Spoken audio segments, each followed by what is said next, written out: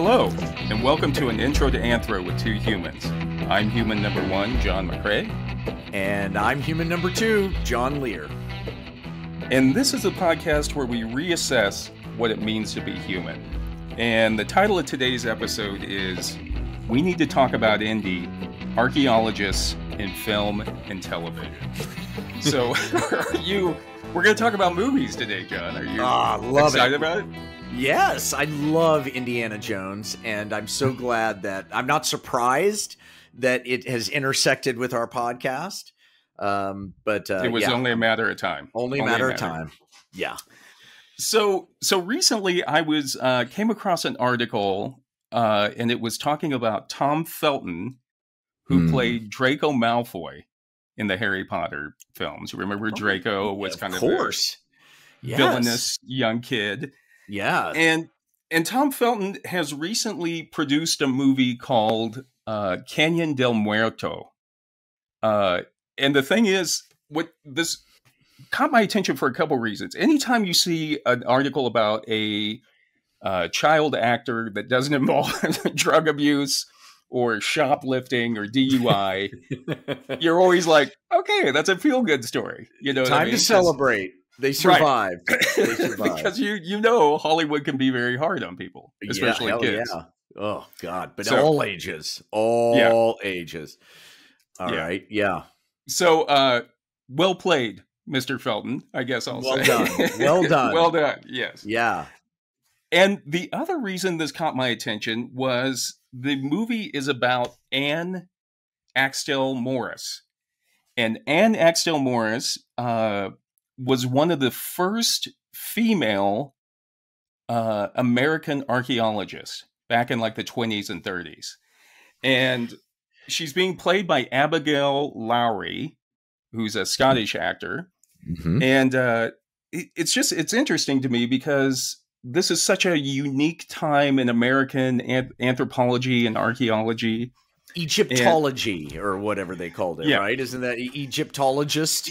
Yeah, People, yeah. people who raided tombs, but under the guise that it was for science. right, exactly. and it was, and people were still trying to figure it out, you know. So, uh, Anne Morris was married to Earl Morris, who's one of the big names of southwestern archaeology. Uh, and even in Earl's obituary in 1957, Alfred Kidder, who's another big archaeologist in southwestern archaeology, uh, described Anne as being vivid and brilliant. Uh, Robert Burgh, who wrote, who worked with the Morrises, described Anne as being an archaeologist of note in her own right. But Mhm. yet, you know, people don't really know about Anne Mhm. Morris. And you know, it, it she took Malfoy. It took Draco. It took. Draco to bring her to our attention. I know of all the subjects, I was like so blown away by it because not only is it southwestern archaeology, which is Right up your field. alley. Mm-hmm. uh, but it's also that it's about a woman archaeologist, and uh, and so Anne Morris, she married uh, she married Earl Morris back in the twenties. They they worked out in Canyon del Muerto and Canyon de Chelly out in the the Dene or the Navajo Nation. They also went down to Yucatan, and she worked on uh, Chichen Itza. I think they excavated. Chichen Itza. Those, ch- you know what the, about Chichen Itza? Just to, if I may, the stairs are too steep. Why'd they make them so small and steep? My wife know. and I went up that thing, and she froze. Jennifer froze Really? halfway up. Really? Would not go up. Would not go down. I could not. I mean, seriously, I just sit down with her for a while. I wish they'd made them. A, Yeah. I'm just saying, in the future, for those Yeah. people who make. Yeah well, maybe they could go back in and redesign them or something. I mean, yeah, take every other stair out or something. maybe feet feet were smaller or something back then, or something. Like they yeah. weren't used to like our large 20th century feet or something. Well, they were all aliens. That's why. so, uh, so Anne was right in the thick of it, though, and she even has written some books. She wrote uh, uh, a book called "Digging in Yucatan," and she wrote a book called "Digging in uh, the Southwest America or Southwestern United States." And uh, the thing is, I tried to get them; they're very expensive. I wish, I wish I could afford to get copies of those books. But anyway, I got a copy of the uh, Earl Morris book. But I'm telling you, if you can get those books now, because once this movie comes out, they're Boom. gonna be fly, They're gonna flying off sky- the show. God, maybe that's something we should do. We should buy them all up. Just yeah, just flash forward to three years from now with us just with cartons of Anne Morris's reprints that we paid for in our garage. Yeah, that goes up with our ideas about like uh, opening up 7-Elevens and you've got an idea about opening 7-Elevens, laundromats, and car washes. Yeah, things that just gotta generate their own money. You don't have to You just go there, pick but- up, yeah, put soap in and pick up the quarters. and just keep them in quarters. Yeah, Don't take yeah. them to the bank. Just like bury No. them out in your backyard. uh, so anyway, Anne was right in the thick of all of this early archaeology, and people don't really know about her. So I think when the movie comes out, I think we need to go and see it. You and you and me, Oh, that's and great. and then talk about the movie. And, And- I think that the director is actually, I think he lives in Albuquerque, so I may have to try to. To Let's see if we can to- interview him. That's Yeah. fantastic. Let's do it. I'll try let's to bump it. into him. Yeah, let's go out in that uh, turpentine uh, excavation site uh, where, that you took me to. Yeah, We could Trementina. We could, t- we could we could interview him out there. That'd be cool. Yeah. And so um with that said about Anne, I'm just so impressed that this movie is dealing with a female scientist because I myself feel that we need to have more people of color and more women in the sciences. Yeah. Because I I feel like you get a different perspective on on if you have women and people people from different backgrounds bring different information and different uh, perspectives on any of the problems that you're tack tackling in science. And not to cut to the chase, but women are smarter. And I can say this from experience because I have a son and a daughter. And once you have a son and a daughter, as you watch them grow, you realize that men are stupid. Just stupid. Girls do everything first. They potty train, they talk, they, everything first. And yet they're underrepresented in a lot of the sciences or tech industries. Yeah. So, Mhm. um, My daughter's I- in AP biology. AP biology. Really? Yes, she Really? is. Yeah, killing it. That's great. Um, but I would also go since we're here. I might as well say also, I love the all female Ghostbusters. I know. I'm not sure it's uh, unpopular. I don't know why. It's like, um, You know, it's tough. I mean, people get used to the first thing that come across, so that you've got that, and then you add the patriarchy to it, and there's Yeah. no way those women were going to be accepted in that Right. movie. now no you and. I, you and I have done a lot of theater over the years, and Yes, we we've also done a lot of improv. Yes, we have. And and what I've always found interesting is in the improv shows that we worked on, we always had at least as many women or more women than men in the cast. yes, that which was at the time in the '90s when we were doing it was unheard of. Right. Isn't that crazy? Nobody did it. In fact, women, there were maybe one in a cast. S- uh, Second City, I think, only had a maximum of two women in every cast of like eight until Yeah. like like the like the 2000s or something. Wow. Wow. Yeah.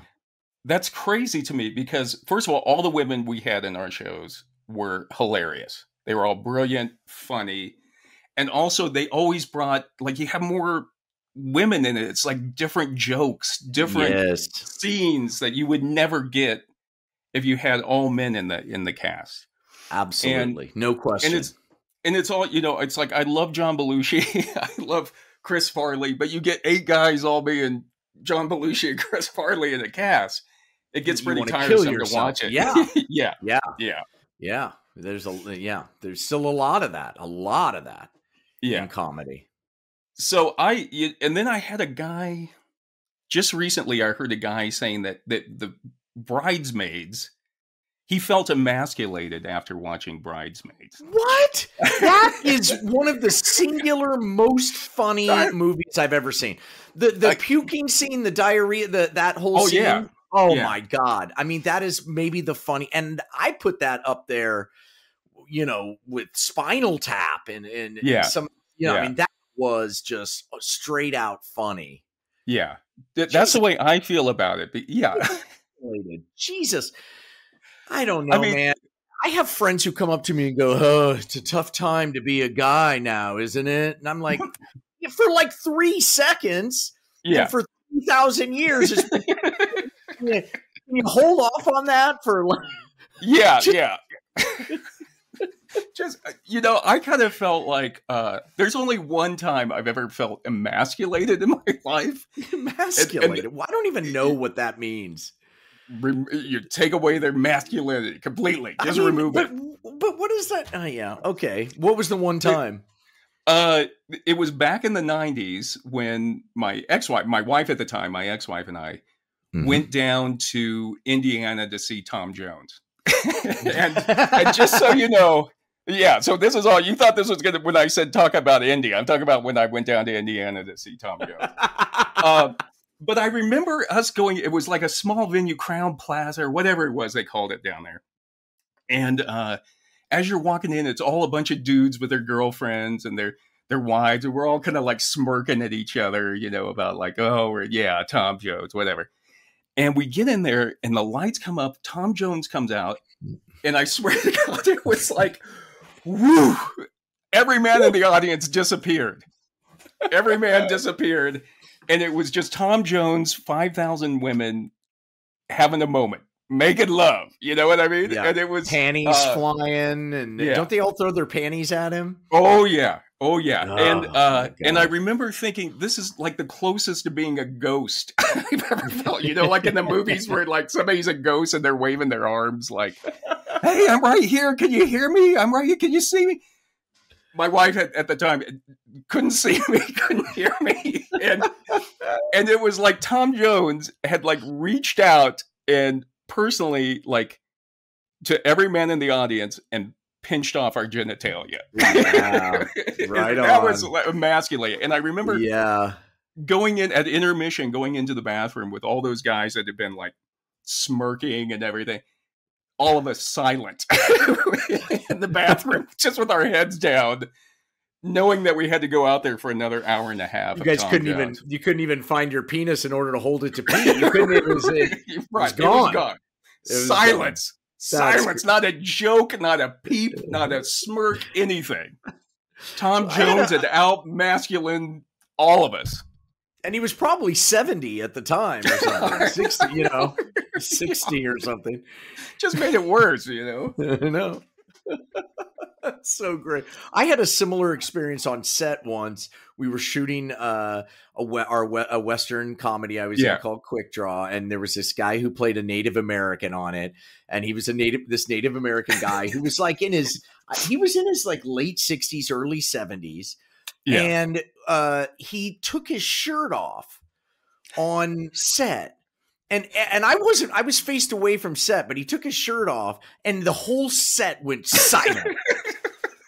and there was like a hundred people, and they all went silent. Everybody froze. And I was like looking around, I was like, what's going on? And every woman, every gay man on our set was just locked on this this gentleman and his just he was just Just beautiful ripped, or was he just he like was ripped? ripped, and- and he was just you know he was just you know yeah, handsome as hell and he just Yeah. owned it he was the nicest guy you know yeah that's Anyway. emasculating. that's Mhm. emasculating. You know, don't tell me about a woman uh, like a, a film with a strong female cast. That's hilarious. You know, it's what like a wimp what Yeah. a wimp So- Yeah, come on Uh, but we digress. Uh, so to get back, so Tom Felton in this article talks about uh, to get ready to shoot it because he actually plays Earl Morris. Tom Felton is in the movie as well as produces the movie. wow wow Yeah. see that's like me you have to produce your own stuff to get a job Right, right. i'm with him i'm with him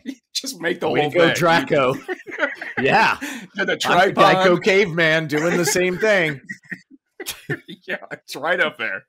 yep a little So, uh, smaller but you know so anyway, he said that to get ready for the shoot, that he and Abigail Lawrie went on a ar- archaeological boot camp to where they could kind of learn what they what it was like on the dig and everything. And I was kind of impressed about that because they were like Mhm. trying to make it authentic, even though the way people do digs now are definitely different than the way that they did digs back in the 20s and 30s. But yeah.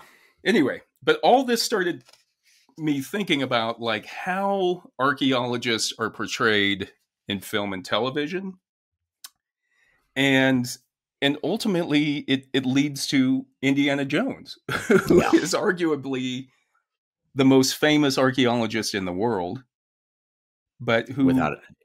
never existed never existed. Never existed. Never existed. And uh and and and really uh you know took a lot of artifacts from their home countries. Yeah, yeah, without exactly. asking with no permission. Right, right. and uh took them home and you know sold yeah. them to the museum you know there's sold a whole scene exactly. where he's trying to sell them marcus i had it in my hands marcus. And then he's like trying to sell these are good aren't they? You know. Uh so and then that kind of led me to like questions about like what's the importance of studying archaeology and what purpose does archaeology serve in contemporary society or contemporary culture? So um just to start off with this isn't a new question about like how archaeologists are portrayed in film or media. And in 1949 alfred kidder who we talked about before he he wrote that in popular belief there are two types of archaeologists. There's the hairy-chested archaeologist and the hairy-chinned archaeologist. That's awesome. So, yeah, no, so it's true. brilliant. So it's like the hairy-chested one in the movies or in the. He says it's mostly in uh, comics, you know, at that time you were looking at the Sunday papers or whatever. But he said right. usually the hairy chested type are the ones they have the gun and they have the hat and their shirts yeah. undone, you know. Right. He's hacking his way through a jungle trying to find some uh, artifact or something, some trinket that he's going to, to raid, you know. And uh, which is kind of sounds a lot like Indiana Jones. It sure really. does. Hairy chest. I put him in the hairy chested column. Absolutely. And then the the hairy chinned archaeologists are they're mostly like the bumbling kind of mm-hmm. like old prof you know professor he's mm-hmm. you know oh, i have that bone somewhere did I, yeah exactly. where did i drop that absent-minded yeah yeah yeah and his he's always like the father of a really beautiful woman uh-huh. sort of like the guy who was the owner of jurassic park yeah, uh, you know that kind of a deal. yeah, he's he's rich, he's bumbling, he's smart, and he deciphers something. You know, Kidder says he deciphers something that's important to the story right before his assistant, the handsome guy, saves the daughter or something. You know, uh-huh, so exactly. Uh, so, uh, so it's not it's nothing new. I mean, that was Kidder wrote that in 1949, and people are that's still amazing. really having the same discussions, if not arguments, about uh, how archaeologists are portrayed. And so I don't know, And just to start out with, how do you how do you feel about Indiana Jones? Well, I don't know. I mean, he's locked in Spielberg. You know, I'm I've been Spielberged. You know, I'm yeah. I'm that generation that just got you know hammered by those guys. His you know, The Godfather, Star Wars, uh, and then uh, you know uh, Indiana Jones and E.T. and uh, you know I, I, yeah, I was just yeah. indoctrinated to that stuff. So I I don't know. I mean, I, yeah, I I feel like things were whitewashed. Spielberg. I know. It, whenever you talk about this, by the way, people always go, "Well, what about Schindler's List?" Okay, I, I grant yeah, this Schindler's List, but come on, let's uh, you know. But um, did yeah, you see it I when mean, when it first came out? Did you see the first one back yes, in Yes, yeah. I did. And and I have to say like Star Wars, the archetype, the Jungian uh, core to all of it has has played a big part in my life as a man. You know, really the the oh sure in um uh I, which one was it uh the the choose wisely the um oh yeah damn uh, the last the, one that was in the last, or no, that was second to the last one because I came yeah. out with another one years the later. Chalice, and yeah. uh, yeah, and then he, you know, as he's trying to get the chalice, he um he he there's the leap of faith. I don't know if you remember this. Yeah. He, one yeah. of the things he has to do is the leap of faith, and he just has to leap on and then you find out after he's landed that it was actually just a optical illusion there was a place right. he i mean that to me is a, a core element to what sort of my own spiritual path is is that you know, Do you think you would have leaped? Would you have leaped? No, no, no, no. I don't. I don't leap. No. I, I I'm a- wouldn't have leaped, but I'd be down on my hands and knees, kind of like feeling out there. Yeah, You know I'd be like, hold on a minute. I'm not just gonna leap. but uh, but yeah, but so yes, it's hard for me to separate from all of that. But you know, I loved those movies. I I loved them, and and they Yeah. keep going. There's like the librarian. There's the uh, oh my god. There's so, you know, there's so many uh offshoots from that Right, that right. sprig. Mhm. Yeah, and it's But yeah, I- basically yeah. like the same story, just told many times. You just many many times. replace the archaeologist. You know, and we're fascinated by it. We're fascinated by it. You know, uh, what what do you call it? Uh, Journey to the center of the earth. You know, is Yeah. like a like falls in all of that. Oh, too, yeah. you know, yeah. yeah, Star- Stargate is another one that they always mention. Stargate. Stargate had an archaeologist. absolutely, yeah, So- geniuses. I always, to me, it's like I remember seeing the movies when I was a kid, right when it came out. I remember some friends of mine picked me up. Uh, and like, hey, we're gonna go see this new movie called uh, Raiders of the Lost Ark. You know, I was like 14 or whatever, yeah, and I remember we were all blown away by it. We thought that was the most amazing thing. uh-huh. I feel like it's one of those, you know, there's certain books and certain movies that you have to see at different times in your life. And to kind of see how your perspective on the movie has changed. You know, another one is uh as far as books go, like Catcher in the Rye.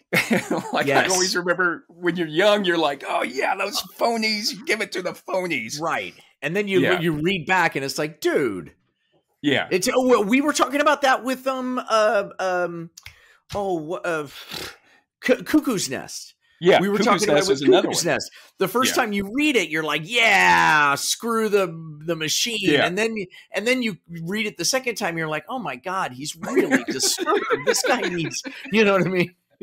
yeah so i kind of uh the indiana jones movies i kind of feel are the same way in a Yeah. sense i mean not like catcher in the rye or cuckoo's nest but you No. have to see them again and Yes. uh and you know and for the people who i love the indiana I'll, I'll tell you i love the indiana jones movies but just because you love something doesn't mean you can't look at it again critically Yes. you know it's Yes. like I, I I love myself, but I was in therapy for 10 years. well, that's well. I, I just recently watched it too with my son, uh, which was interesting, and I thought he would love it, and he was like, mm, he, he wasn't. It didn't have. It didn't get him. Isn't He- that it- funny? Yeah, yeah. Star Wars he, he liked, but not as much. And he and he looks back at Star Wars as I think with more clear eyes than I do. Of like, you know, maybe there were two good movies out of nine. You know, yeah, yeah. but the other seven not so great.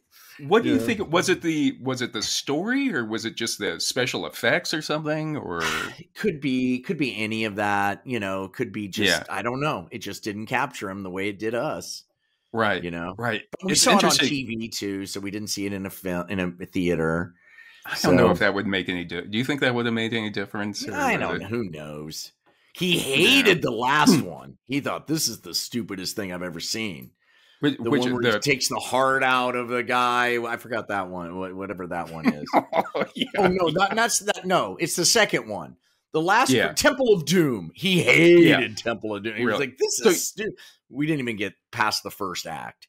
So you made him watch it. You're like, oh, if you hated that one, I'm gonna make you keep watching them until you love them.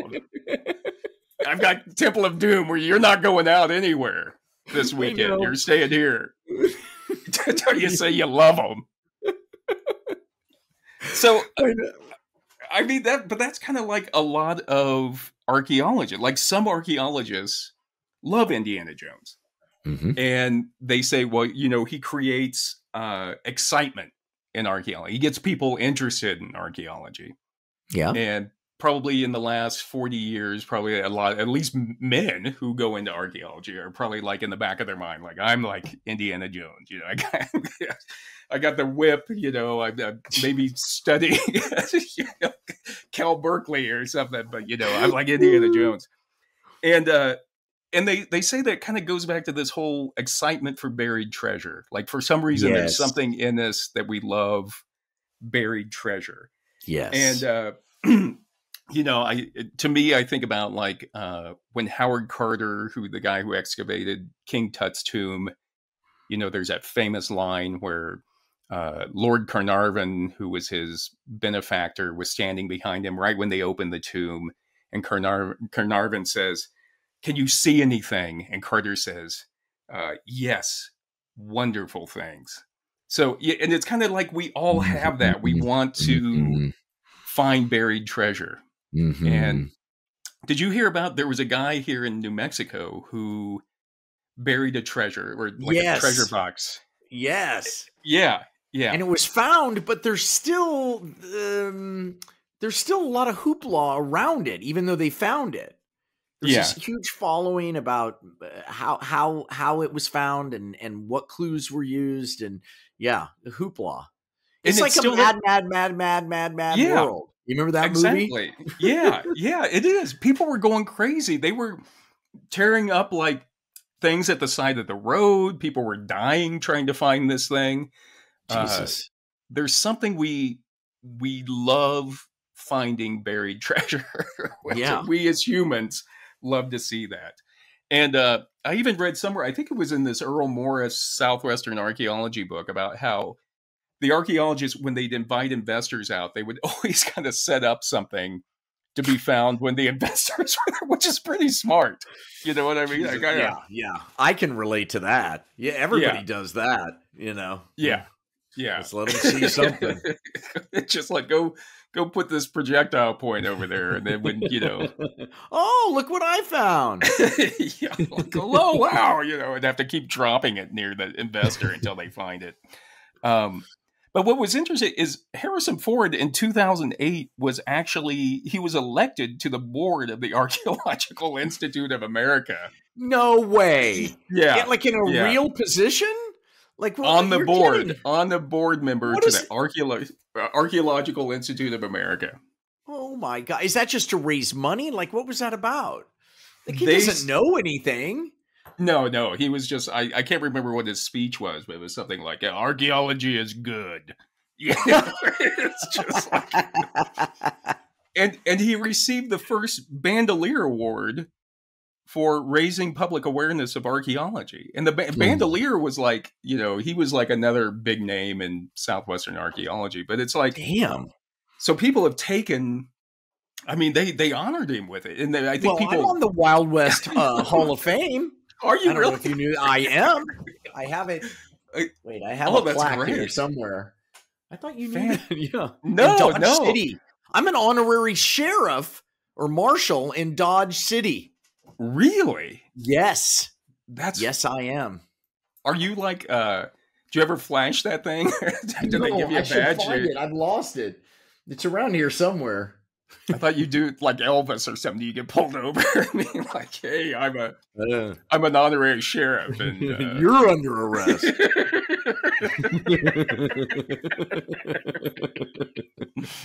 uh, so and then they talk about uh the other thing. Some archaeologists love the idea of it, it's a fantasy of the rugged, heroic archaeologist, the cowboy of the science community. they like to see Mm. themselves, yeah. and uh, Getting know, really- hands dirty. right, and they like we go in and we just we do what needs to be done to you know Mhm. explain history or whatever, and uh, and really probably the real cowboys of archaeology now are your contract archaeologists who are the people who you know they're building a road or a building and then they uh, uncover some bones or something and then the contract archaeologists are like the hired guns that are called in to come in and just as quickly as possible catalog that thing you know take Get photos of it get it out of there Really? yeah So they're And- uh, wow, they're like the mercenaries. like No, they not, yeah they're like the ones that i mean those are your working if, if you have academic archaeologists yeah.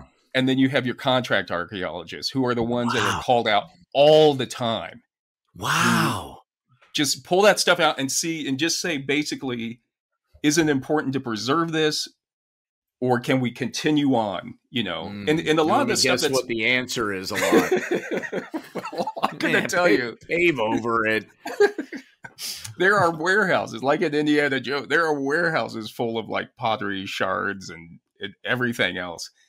Uh, you know, of just things that have been pulled out of. Like in New Mexico, you can't barely build anything without finding some. It's you know. true. I was walking around with you, and you saw a, a piece of uh, Yeah. sh- a shard and picked it. Oh, here's one. I'm like, what? Yeah, you're like yeah, yeah. yeah. So, so you have to like they come in and they they catalog it, kind of look at it, analyze it, and say, yeah, we need to preserve it. No, we don't. Continue on with the project or whatever.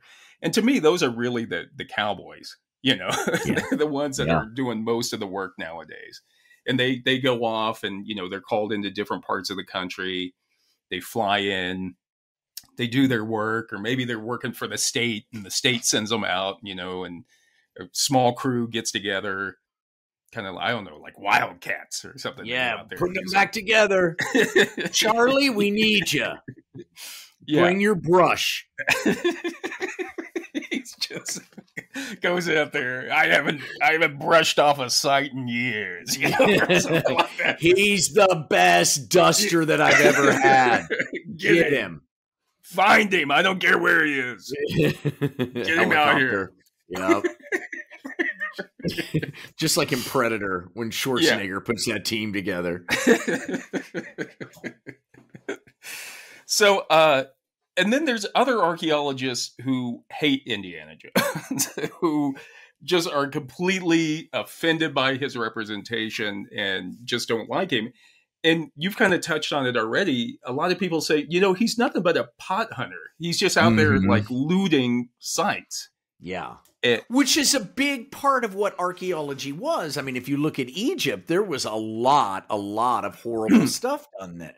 Yeah. There and and a lot of things that are in uh, um, just recently in the uh, in the paper uh, the how uh, Gre- I think it's Greece uh, Rome is is wanting work back from France is it France that has it or maybe it's England that has it and won't return it or you know there's all all that stuff where people just I mean, Hitler did that. He just looted places and took all their stuff. And yeah. uh, yeah, yeah, there's it's, But- it's a big part of it. It's connected to archaeology, unfortunately.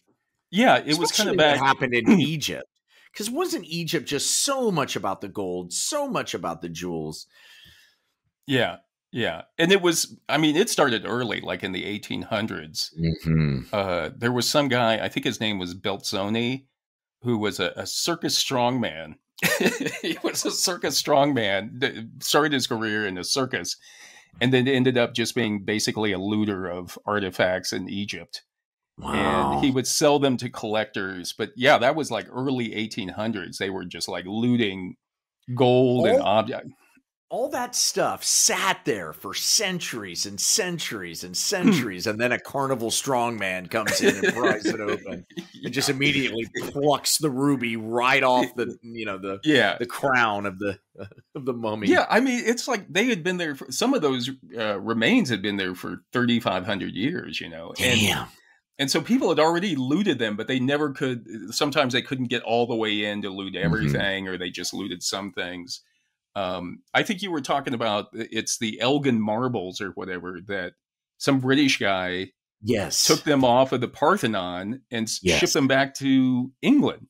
And now Greece, for like the last 60 years, has been saying, hey, we want those Elgin marbles back Yeah. because we You never said it was back okay. on the building you pried them off of. right, right. And what he And says it's all- is, uh, It's Uh, always I mean, under he- the guise of we had to protect it for them because Right. uh, you hear a lot Right. of that from Iraq, a lot of stuff that was taken out of Iraq. yeah. No, it's it's true. It's like, uh, well, it's got to, and Indiana Jones says that it belongs in a museum. you know, well, it's like, uh, you're looting it for the museum. You know what I mean? Maybe the people who produced it don't want to let it go. You know? Maybe Um, it belongs to where they want it to go. Yeah. Yeah, Yeah. yeah. So uh, another thing people say is, well, Indiana Jones is not a realistic representation of what archaeologists do. Come on. Who's making that argument? No, duh. yeah, I mean, the guy had a whip. yeah, I mean, uh, he had a giant ball chasing him. I mean, seriously, you you worried that we're gonna? How stupid are the Yeah. rest of? Us? That's an insult to the rest of us. yeah, I would say, you know, ultimately it is a movie. Let's not forget. Yeah, like nobody like, wants to on. see like Dr. Jones like grading papers or something. You know what I mean? It's like arguing with other staff members about their offices. I'm merging a database. So I mean, it's like, come on, cut him a break. But anyway, they say, well, you know, he doesn't really. Uh, we don't see him doing any excavation, really. I mean, Yeah. yeah, he'll he'll dig, but No, he takes like- the he takes the rock off and puts a, ba- a bag of sand uh, where in its place. What about that?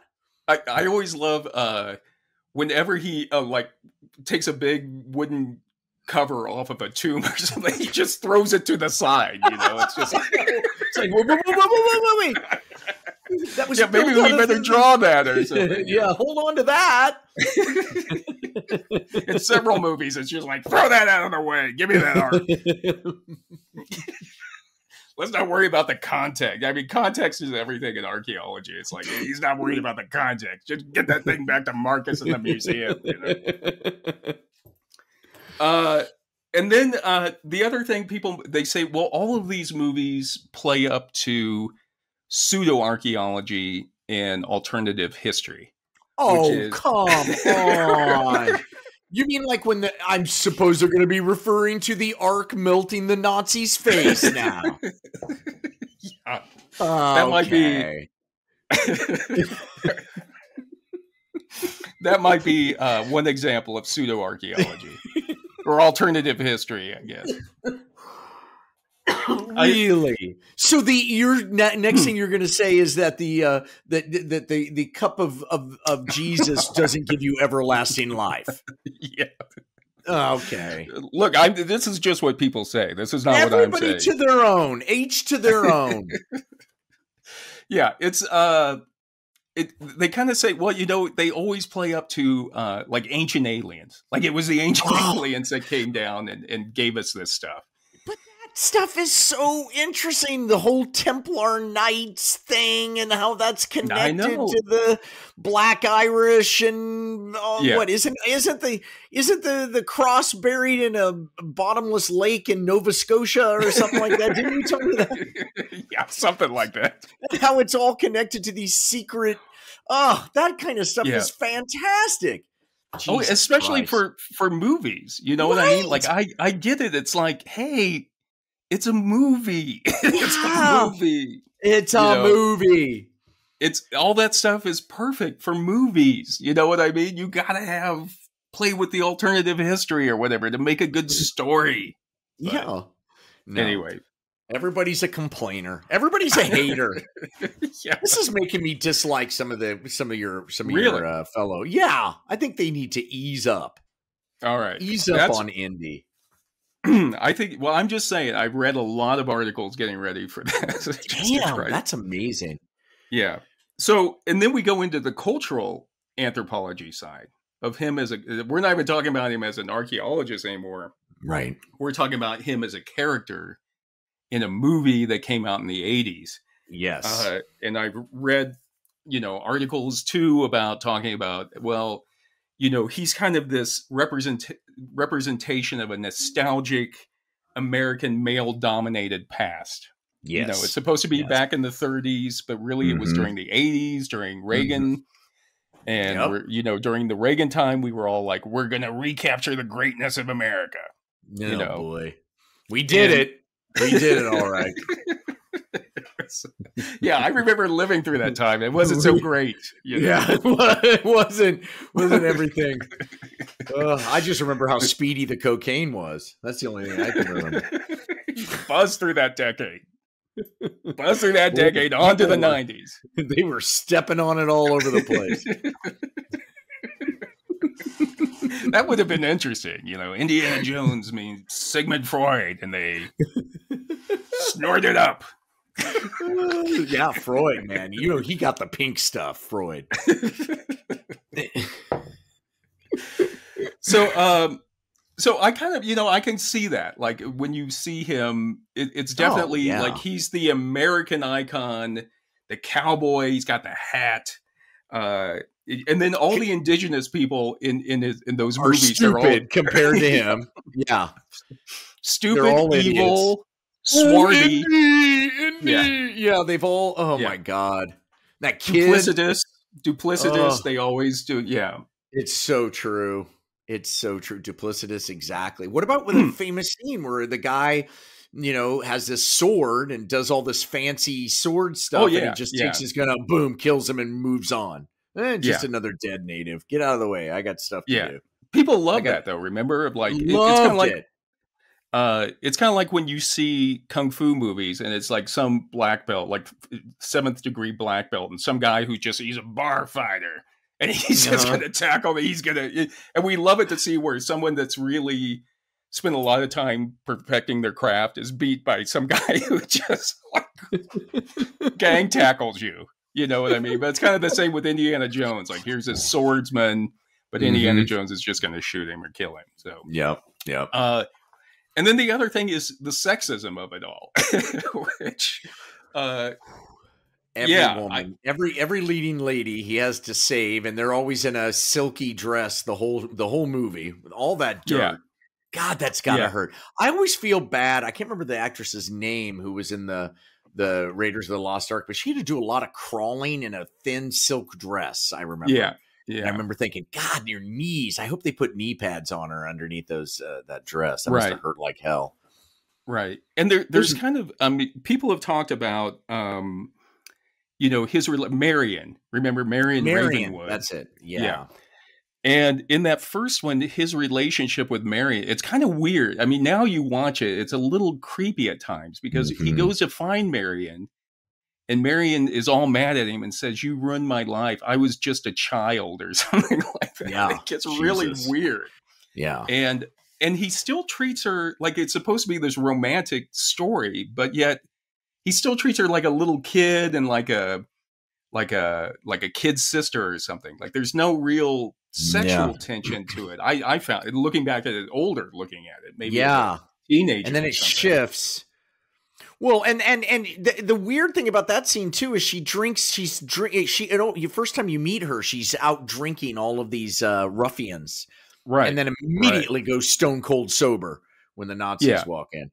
Uh, she's Yeah. it's, she was never that always that always bugged me. And then the other weird thing about Temple of the Doom is you know uh you, you know he's making out with her through the whole thing you know and that Spielberg Yeah. married her didn't I he? know.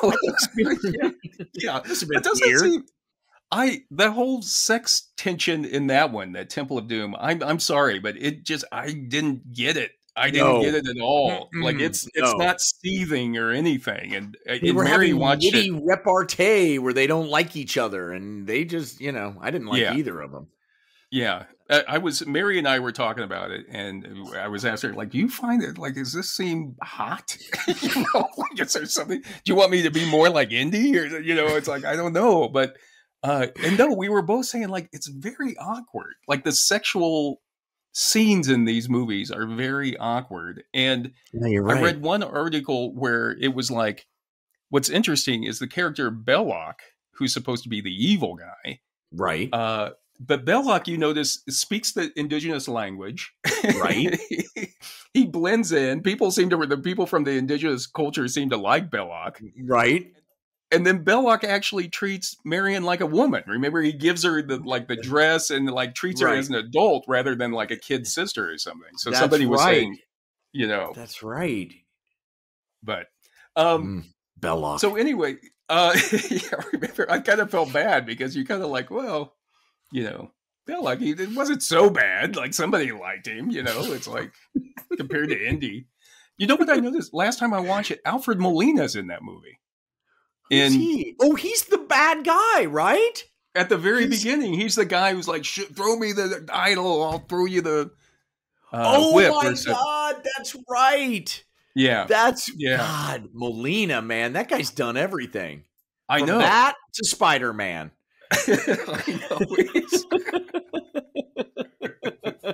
what a career I know, I know, but I was shocked to see it. It was like, wow, okay.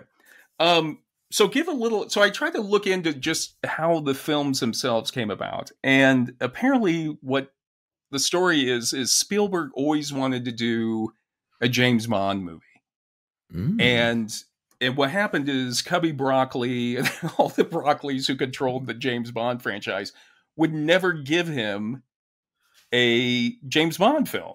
Interesting. I wonder why. He's Yeah, I- kind of sexless. You know, I think he I think they made the right decision. Yeah, because it, it's your comment about you and Mary looking at that relationship. He doesn't. There's something. mm, Uh, yeah, I I think the Broccoli's did the right thing. Yeah, it. I think they sense that because no matter what you say, I mean, come on, James Bond, especially the ones from the '60s and '70s, aren't uh, any like Mm-mm. equality icons No. or something. You know, No, they don't. They don't hold up. They do not hold up. No. but but the thing is, they did have sexuality. I mean, there was sexuality in them, Yeah. and Yeah. and I think Cubby Broccoli must have looked at like Spielberg or something, be like, yeah, you look at ET and you're like, wait a minute, what are we doing? No, Goonies, Goonies, Yeah. which I love Which- all of those movies. yeah, they're Goonies, not- yeah. Put some cheese on my broccoli and tell him no. Ah, good night.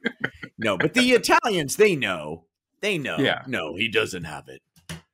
Yeah, No. and it, and apparently it's like throughout the movies, other movies, uh, Spielberg was always making like little hints to, uh, to 007 or to James Bond movies, and so it's like I I don't know if I I can't remember the scene or whatever, but I somebody said well in Jaws when they pull out that license plate from the Jaws's belly or so from the shark's belly, it says 007 on it. Or- oh, and the whole thing when they got Sean Connery to be in the in the movie in the uh, yes. last Temple Crusade of the or Lost, whatever. or not Last Crusade. Yes.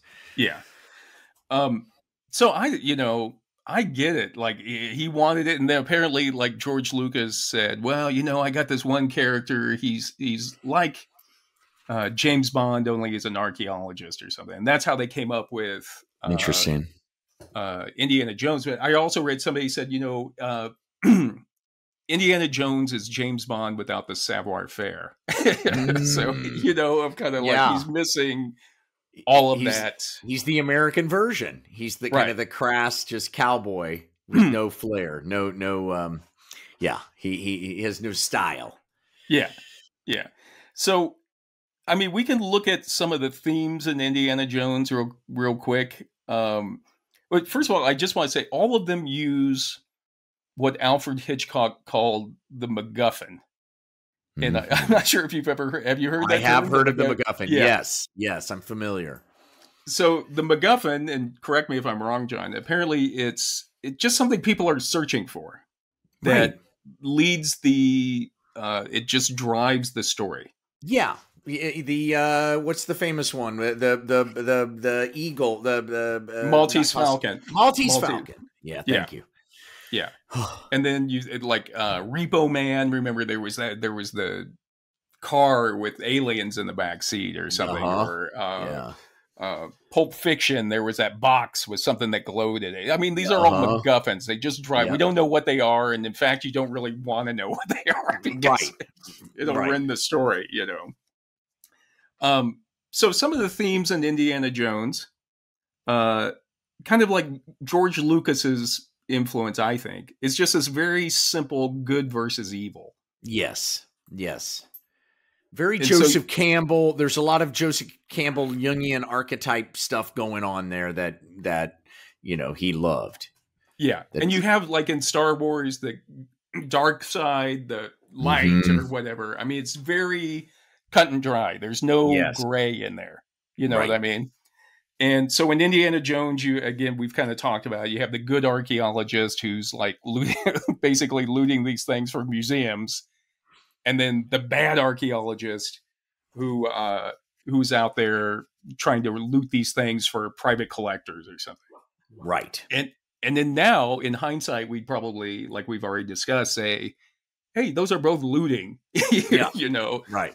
Right. And in uh 1990 we they they passed the native american graves protection act nagpra which was like when we started to take all of these remains all of these museums in the eastern united states and across the country had all of these Indian remains or American Mhm. Indian remains. And so it was like we're trying to repatriate these remains back to where they belong and also rep- repatriate these artifacts because it, it's Mhm. like, you know, what do you need? I mean, I would feel bad as well. Like if somebody came in and like dug up my my mom's body and then took it to a museum somewhere and just held on to it forever. you know what I mean? I agree. I, I was just in Austria and uh, Hmm. we I, I explored the cat. I went on a tour of the Oh, catacombs did you? underneath Did a, uh, a, a cathedral built in 1100. Wow. and it was just thousands and thousands of bones and at, at first you're like wow this is so amazing and it's and then you start to realize wait a minute these are just human beings here that we're all just looking at it's Yeah. so crass there was something so i don't know it wasn't Yeah. it wasn't a great feeling Did you uh did you come out of that with a sense of your own mortality or something or was it Yeah, And and and and and also you, you uh, uh, just the, the sheer volume of people who've died, and and that's just one little. You just think about the number of bones, human bones that have been on the on the Yeah. planet. My Yeah. God, that's what they talk about uh I've read places or in certain places where uh there were so many mummies in Egypt. I mean, we're talking thousands of years of people dying and being mummified that they would Mhm. use them to to like for fires, for example. they would just burn mummies to to stay warm, for example. I mean, it's just um yeah. whole different context of like, ah, it's just a mummy, another mummy. You know, just well, they ran out of room underneath the cathedral, so they started stacking the bones and making walls out of the bones, and then filling, making like little rooms out of the bones, and then filling the rooms with bones, and and then you know mixing everybody's bones together. But you would put the heart or some of the organs in Yeah. special vessels for people who were super fancy, uh, just because they ran out of room. They just didn't have anywhere else to put them. Did they let you take photos down there, or was that No, Like, no thank God. One Yeah. guy did, and I and and they caught him, which was just so like, ugh, dude, just yeah? Make it deleted? Were they like you gotta I, that? I hope so. I don't know. Yeah. I'm afraid of authority, so I just Yeah. walked away. Especially in Austria, you know. yeah, yeah. Come here. Paper, Papieren, bitte. Um, so uh, another theme, of course, is we've talked about the American international hero. Again, he's supposed to be our James Bond. So somehow Indiana Jones is out there saving the world for Everybody. America, I guess, Mhm. even though I don't know what that little golden amulet or, or golden shrine would have done for for American democracy, but okay. In the All right. wrong hands. In the wrong hands, it could be used as a weapon. And the Ark and the uh I don't know, the Grail, the Grail too would have made everything you can't different. have Hitler. Hitler can't have anything. You got to got to keep it out of Hitler's hands. Listen, I'm going to tell you, you would not have an oil shortage in the 70s if if India brought that Grail home. No shit. Got that right. solved everything solved everything Mhm. for us um and then they kind of they talk about well you know you have the and this is typical of a lot of movies of like the american archaeologist is all fists he's out there Mhm. solving problems with his fists and his whip and Hmm. whereas the english archaeologists are always they're kind of solving problems with their brain you know kind of more Hmm. i guess I, the implication i guess is being more feet i Yeah. guess is Well, after being American in Europe, that's true. We're we're so? idiots. And I, yeah, I think Europeans are smarter to us overall. They've got they've got a, a, a more uh, they're just more um, uh, flexible in their thinking. You know, Did you? uh Was there anything? Well, we'll have to do a, a show just about culture shock yeah. uh, Yeah. and talk about your experiences. Okay. Yeah. So- absolutely. That sounds great. Um, and then finally, the we have, uh, and again, I think this is both for Spielberg and Lucas. This idea of redemption of the world through a return to a more nostalgic, childlike Yes. state. Yes. and and uh and again, there's less ambiguity. There's less sexual ambiguity or ambiguity. Uh, there's less ambiguity when it comes to good and evil. Uh, Which is exactly what was happening during the time during Reagan's 80s. I mean, that was Yeah. that was it. Let's let's Hmm. no bones about it. This is the, the Cold War is is such and such, and this is this is the way things are. You're Yeah. either you're with me or against me. Well, that was later, but you know what I mean. Yeah, no, I think it was because it was like the Soviets were evil, America's good, or the West is good. Mhm. And Mhm. it's it, you just kind of break it down. And- And what came out of that time period is like, um, I mean, Star Wars was a little bit earlier than that, but definitely Indiana Jones is a product of the '80s, Mhm. and it's just very simple. You know, like Mhm. you Mhm. you don't worry about it. This is very clear that like there's Mhm. good people archaeologists and there's bad people archaeologists.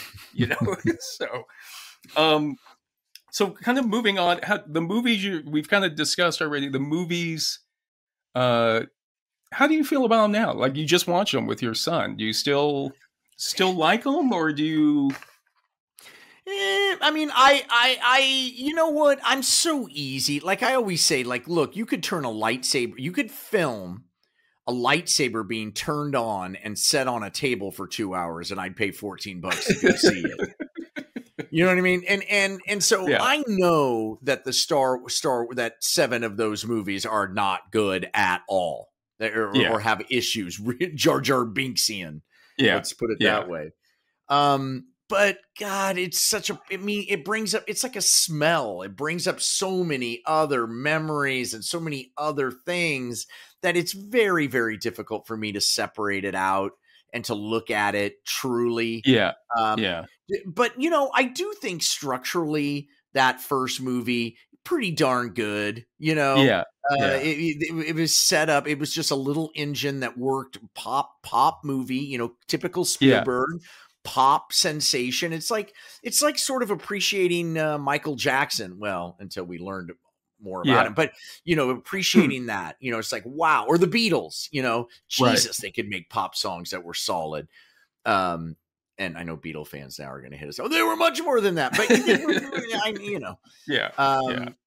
yeah, that, that, that, so that's how I feel about it. I, I do, and I do enjoy it. I, I, but I, I think I'm thinking about seeing it with my brother, like what you said. You Yeah, know, going, yeah, yeah. that memory of going to, uh, what was that theater? Uh, Glendale, Glen, Glenwood, Glendale? Glenwood. Glenwood, Glenwood. Yeah. Yeah. Where we grew up, and I remember going to Star Wars, and it was the line was wrapped around the block. You had to stand in line to get your ticket. Did I ever tell you? Uh, when I 1977, my mom would go to work really early, and so a friend of mine and I wanted to go see Star Wars. So we had my mom drop us off first thing in the morning. Like the first movie wasn't until like two thirty. We had her drop us off at like six in the morning, and we sat outside Glenwood for, for like eight hours till about two. And I, then I I, bet you like, weren't the first people either. Were there other people when you, sh- when "No, you we, we up? were the first. You We were the first. but Well, I was like. I gotta go to the bathroom. I gotta go to the bathroom. And and it was at the gas station across the street. I was like, I'm, I'm we gotta run over there. So we both ran over to use the bathroom after sitting out there for eight and a half hours. We came back, there was a line around the building. no. Yeah. Why didn't one of you stay? What the fuck? You should have called me. we, both, God damn it. we both had to go. We had sat out Why there. Uh, one of you has to stay? God damn. Eight hours, first in line. We were like, this is it. And I just remember that. You know, it taught me a, a lesson. It's just like, You're fucked. don't no get out what. don't get out of line yeah Yeah. Just, just do what everybody else does and take the seat they give you. yeah yeah uh so anyway uh, i'm kind of the same way i i love the movies but looking back on them now uh there's things that really bother me about them about the character Mm. uh I also find, you know, it's like okay, so the character, just from a character standpoint, and maybe I'm being too too critical of it, but it's like okay, he's he's found the ark, he's found the the Holy Grail, and yet he's still the same guy. you know, you go back to the little college, there's still Right. all a bunch of white people and one black guy in the back, and nothing's changed. like he hasn't Right. learned. He hasn't like, oh, Yeah. you know what? There's why don't we all love each other or something? You know what I mean? It's still Nothing. he's still kind of the same Yep. same guy. And then the second one, which was supposed to be the most James Bond type one, which Mm. starts with him in a tuxedo and you know, Shanghai or something back in 1935 or something. And where suddenly now he can speak Mandarin and Sanskrit and everything else. and then there's like this big fight where he punches like the cigarette girl. It's supposed to be like camp or something, but it's like, Jesus Christ, he just really punched the cigarette girl. That's probably like a traumatic brain injury and caved in her face or something, you know? And it's like all with like like a dance tune or something. Yeah, it's all yeah, it's all choreographed. Like like yeah, there's music is still playing through all of that. Yeah, yeah. And it's just kind of like, wow. And then I don't know. That second one is just weird, man. That Temple of Yeah. Doom to me is Oh, all the kid stuff. It is bizarro. That's Yeah. But you also that's when Spielberg is starting to figure out the whole theme park aspect of it, because or the or Yeah. the video game aspect, because you'll see the scene where you're like, oh, this is going to be in the in the Yeah. in the video Yeah. game, right? when they're in like those, the, uh, the mining cars or yeah. whatever. Yeah, yeah. Uh, yeah, he's kind of. I hate to say, he's kind of an asshole in that one. I thought. yeah, You know uh, what I mean? He- that was supposed to be Spielberg's He's- take on James Bond. It's like I don't know, Mm, man. I don't know. I don't know. I don't know.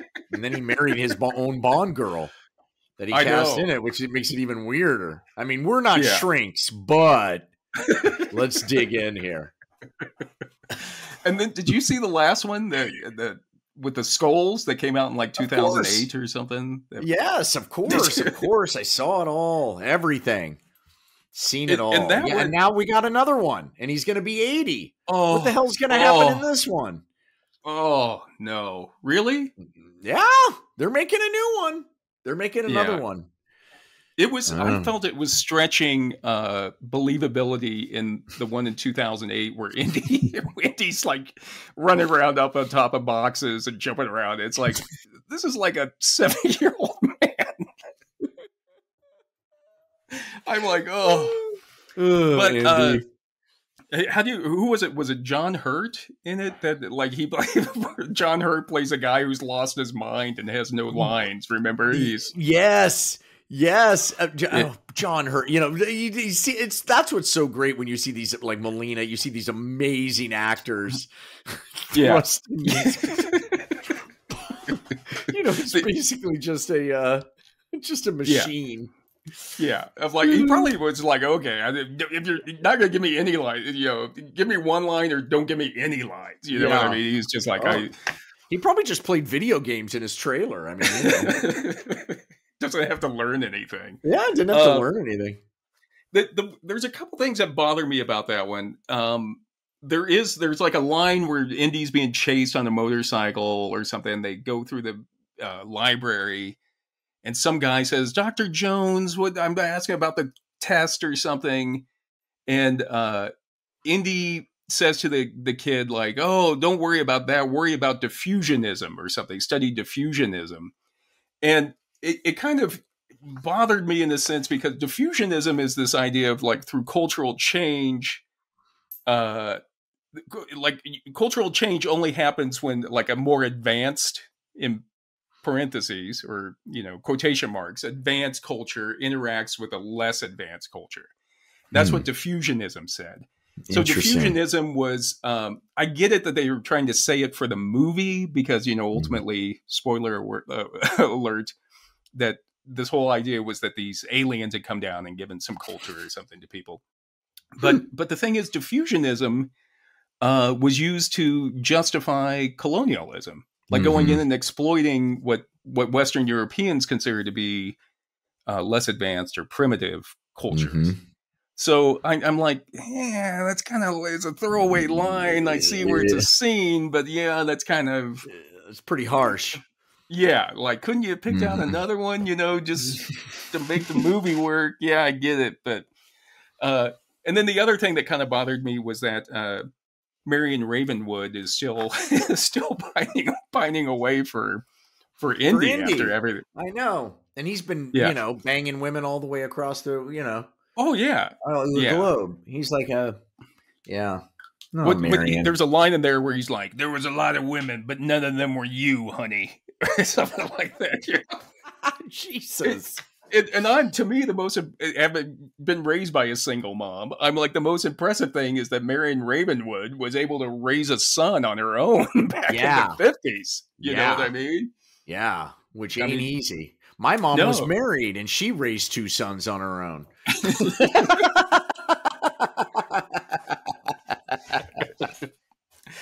Uh, so I guess let's uh, so let's just talk about. We'll sum up with some of the other representations of uh, archaeologists, and I'll just Love throw it. some out to you. Okay. Okay. Um, Okay. Laura Croft. Oh, fantastic video game. Frustrating as hell. Yeah, Really? that video, but the water when she would jump into the water, I'd never seen water like that in a video game. I mean, that is an over sexualized, crazy bill uh, porn. Essentially, that's what that Yeah. that is. That's it's it's it's porn mixed with a Rubik's cube. Uh, that's what that video game, those video games How do you feel about like as a man playing that when you you're playing Lara Croft, right? Yeah. Yeah. Uh, you know, I mean, I was a I was a um, adolescent boy when I was playing Lara Croft. And Yeah. so, you know, you could you could Laura could look all around and there was a way to look up right at her boobs. So I'm playing Laura looking at my own boobs getting turned on. Explain that one. And How did that? Did you find? did- did you succeed finding the uh finding anything in the tomb, or was it? Absolutely. And now look at me. Look at look. Obviously, I turned out great, so it didn't affect me negatively in any way. Yeah, I guess that, there- that was a Did you- bizarre, bizarre. Did you see the movie? Did you see the movie Yes, with Angelina yes, I did. Yeah. Yeah. Oh Um, my god. Apparently, they're getting ready to do another one with uh, Phoebe Waller Bridge or whatever is going to write Who's a that? new Laura. I think she did Fleabag. oh really? Right? Or Oh, she's gonna write it. they're doing Whoa. a new Laura Croft. Okay, that could. Uh, all right, I'm interested in that. um another one that kind of leads us to like another uh representation of female archaeologists in the movies is it's it's a subcategory of the sexy librarian where it's like Yes. you know she's uh, like with the glasses on like looking at the Mhm. uh microscope or like you know looking at the the pottery sherds and then you know she, the, the spirit takes over and of course she takes the glasses off and the hair comes down My. God, you're beautiful, Mrs. Or whatever. Yeah. yeah hmm Um, yeah have you ever seen the movie Pimpernel Smith? No. Pimpernel But like Smith came ti- out. Yeah, came out in 1941. Hmm. Uh, it was by Leslie Howard, who had played. Uh, who was it? Uh, Naked Gun. no, No. not Leslie Howard. He. he was, who was that? Leslie Nielsen or something, right? Oh, right. Damn it. Le- he he played uh Wilkes, with the guy in uh, Gone with the Wind. The the oh, okay. Yeah. Um looks he was an English act actor handsome. Yeah. And he uh it came out in 1941 during the war, but he played it was kind of like a twist on the Scarlet Pimpernel where he Hmm. played an archaeologist that would go to Europe before the war and help smuggle people out away from the Nazis. Interesting. Yeah. Schindler's List before Schindler's List.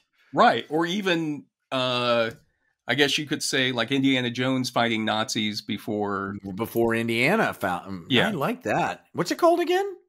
Pimpernel Smith. It's it's All a right, well- slow one. It's a Oh, slow- really? Yeah. Well, we'll put the link in the in the in, in at the bottom in in our comments. Yeah, it's on the YouTubes. You can watch it for free. but uh, uh, and then uh, sadly, I mean, this was during the war, so he's making a, a movie about the war. Wow. During the war. hmm And then Leslie Howard was shot down by the Nazis, uh, like in 1943 or something. He was wow. He was a pilot. no, he was no, he was on a plane. Not to laugh Oh. about it. He was on a plane flying from like Portugal to England and he was outside the war zone or something. I guess they had agreed Mm. upon some area that you know, okay, if we're outside here, that's just a passenger flight. But the Nazis went ahead and shot it down. Shot it down. Wow. So, yeah. So, uh, but it's kind of interesting. He plays the well, the Pimpernel Smith. I mean, the Pimper Scarlet Pimpernel. You know, is kind of plays this absent-minded guy. That's his his uh, that's his disguise. right. So Pimpernel Smith is kind of the same way. Everybody's oh, that old archaeologist can't remember anything. You know, and, and Mm. really he's smuggling people out. That's So- like me. I, I play dumb, but I'm really, you have no idea what's going on. You're playing chess. The rest of us are just playing checkers. You know That's what I mean? right. That's right. Uh, speaking of you, I'll, I'll put up the other. I have another one on the list. John Henry Hoyle, Oh my Who- God. who was an intellectual action hero as well, and I'd like to know how you balance that. Well, uh, I thought it was I you know, we were just juxtaposing things because that's funny when you do that. Yeah. So an idiot who's who's a genius, book smart and street dumb. That's that's what he was at his core. He was a Harvard graduate who had very poor social sense and uh, was a braggart like all Harvard grads are. Uh, would let people know he went to Harvard, you know, without Yeah. them even asking, which is what most Harvard grads, you know, do, as we all know. And uh, you know, uh, yeah, that was fun. That was a really great role. Really, Did great. you do your own stunts through it as well? Was it? I did a few, but no. There, there was as we got more money and the stunts got more advanced. Uh, I suddenly a a a a, a, a, uh, a stunt guy g- would show up who looked like me but five times more handsome, and he would just be smoking a cigarette, just talking to somebody, and then, huh, you ready? Put the cigarette out, and he would do the stunt the first time every time. Really? Yes, because apparently they only get paid once, whether it takes five times or one time. Oh my god it.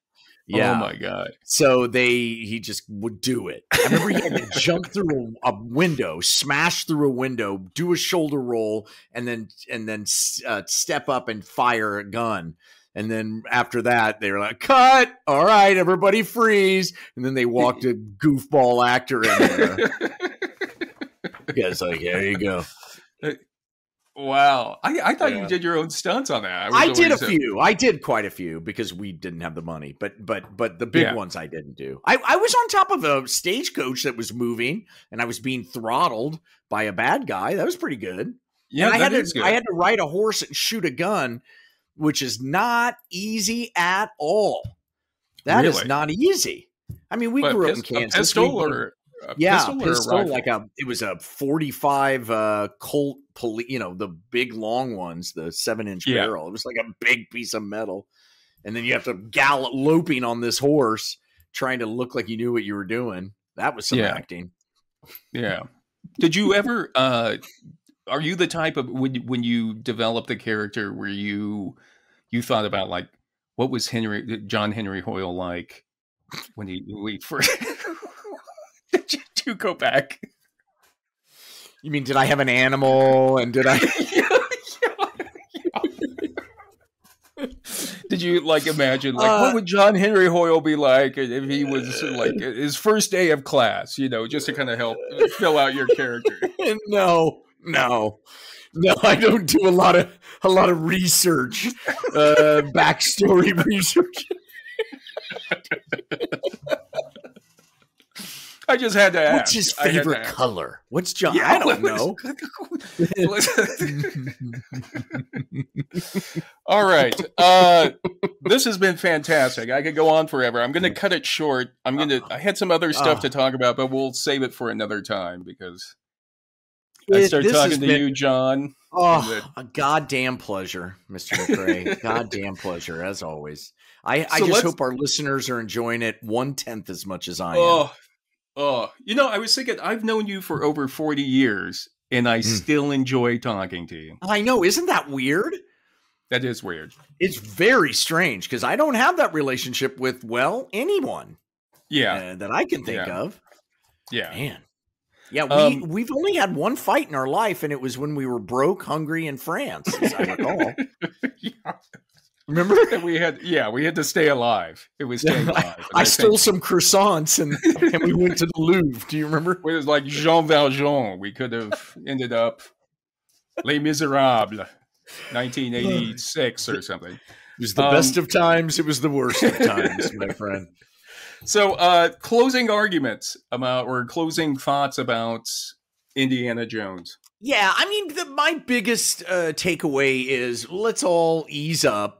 I mean, we can we can cut down uh, uh, these movies very easily, and and they're they're just pop. But you know, let's ease up on uh, on on on. They they were a moment in time, a blip in time, and Right. uh, they they served a purpose for a bunch of teenagers who didn't have Yeah. anything else to do. Yeah, I agree. I, it's, I mean, it's the entertainment business. They're just meant to be there to entertain people. And yeah, it's a product of its time, like you said, it, meaning the 1980s, not the 1930s. Yeah. you know, Yeah. um, no, the '80s. Yeah, just the pop of it all, the pop, the popcorn butter of it all is. They don't Yeah. make the, the- I guess the Marvel things are like that now, but not really. Yeah. It doesn't have the same vibe at all. Yeah. The And, Marvel and I things think, feel more like uh, like amusement park rides. This this felt Right. more like um, fancy B movies. You know, Yeah. fancy. Yeah, they were like. Yeah, it was a different. It was cool. It was interesting, but boy, did they! Yeah, it's it's hard to watch. You got to grit your teeth to watch them now, from today's point of view. I, I think uh, one of the points we made in one of our shows, not not this show, but a show we did years ago, was like, no, nobody's curing cancer in Hollywood. you know, this stuff is just like, we're, it's just for fun. It's ah. entertainment. and so God, whether it be as- in, I- Yeah, as I ahead. said to an actor who we were doing a commercial and he was pitching the director new ideas after we'd been on set for 12 hours. And I said, Hey, hey, come here, come here. And he comes over. I go, Stop pitching new shit for us to be doing, okay? We're selling shampoo, all right? Let's sell our shampoo and go home. Don't, Yeah. be, don't be going for an Oscar here. Thank you.